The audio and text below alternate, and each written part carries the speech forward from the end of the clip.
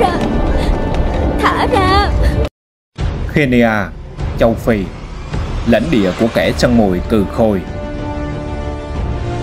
Đó là báo chăn Gepa. Nó là một loài mèo lớn, được trang bị đầy đủ vũ khí lợi hại. Tốc độ, dẻo dai, thôn gọn, kỹ thuật ẩn thân điêu luyện, biến nó trở thành tay thừa săn cừ khôi, nỗi ám ảnh của bất kỳ động vật ăn cỏ nào trên hoang mạc. Oh my god Tỷ lệ săn mồi thành công của nó xếp trên cả sư tử lẫn lên cẩu.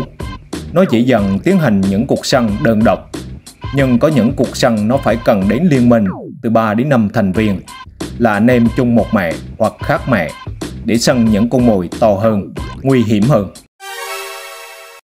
Hôm nay, ba anh em nhà báo săn Gepa sẽ theo đuổi một cuộc săn vô cùng nguy hiểm. Một con đà điểu, đó là loài chim cao sừng sững so với báo săn và nặng hơn gấp đôi. Đây là con đà điểu đực với một bộ lông màu đen. Nó không thể bay để trốn thoát nguy hiểm, nhưng nó có thể tung ra cú đá chí mạng. Còn đây là đà điểu cái, bộ lông màu xám. Con đà điểu cái không để tâm tới bất kỳ mối đe dọa nào. Oh my god. Ngay cả với ba anh em báo săn, đây vẫn là cuộc đi săn đầy rủi ro nếu khi một con bị thương, hai con còn lại không thể xử lý mùi săn lớn như vậy. Mặt khác, nếu chúng thành công, phần thưởng sẽ vô cùng giá trị.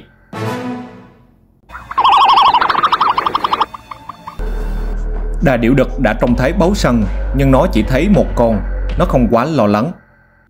Sau đó, đột nhiên ba báu săn xuất hiện. Nó hoảng sợ, bỏ chạy.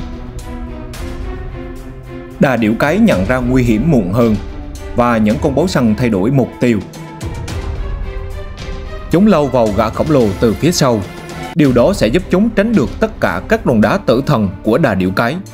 Chúng đứng lên đưa bộ móng vuốt trên sắc nhọn như dao găm cắm vào mình đà điểu.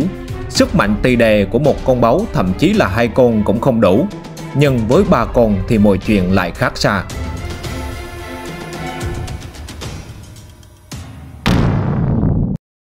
Cần nỗ lực kết hợp với trọng lượng của ba con báo để hạ gục loài chim to lớn và mạnh mẽ này. Ngay cả lúc này, đà điểu cũng có thể tung ra cú đá hiểm hóc. Tính đến hiện tại, anh em báo săn đã giành phần thắng.